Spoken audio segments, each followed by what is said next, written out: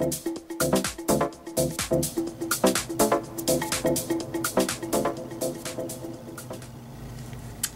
guys. Okay, so I know, funny title. I'm so baked. but this isn't a tutorial on how to get baked. No.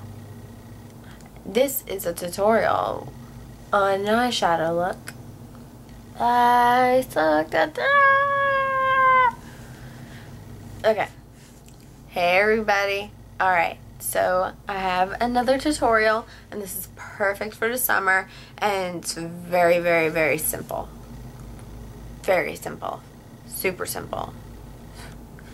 Okay, so it's one of my it's one of my favorites. It's from the Urban Decay Sustainable Shadow box and it's the half baked and twice baked. So I was like, hmm, both of them are baked. I'm so baked. Just thought I'd do a spin on words there or phrase, whatever.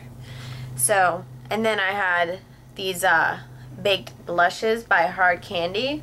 And I was like, more baked stuff. I'm going to do a baked tutorial. Except the lips aren't baked and my highlight's not baked and yeah.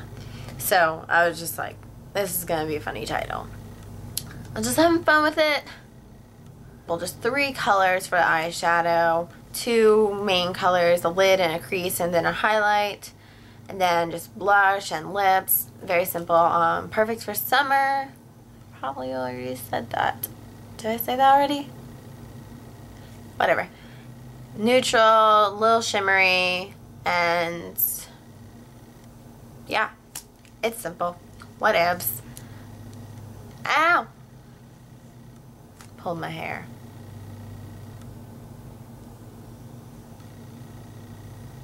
What do I want to say? If you have any requests, let me know so I can do them because I love doing requests. And please subscribe and comment. Let me know what you guys think. And yeah. Alright, here's the tutorial. Bye. Thank you.